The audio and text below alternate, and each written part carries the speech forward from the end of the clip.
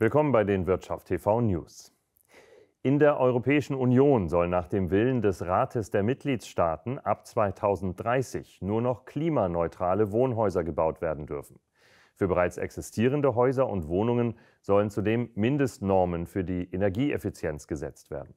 Das gab der Rat nach einem Treffen der für Energiefragen zuständigen Minister bekannt.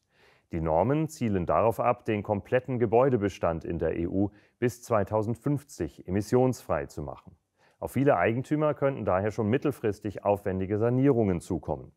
Wie die deutsche Presseagentur schreibt, sind nach Angaben der Kommission Gebäude für rund 40 Prozent des Energieverbrauchs und rund ein Drittel der Treibhausgase in der EU verantwortlich.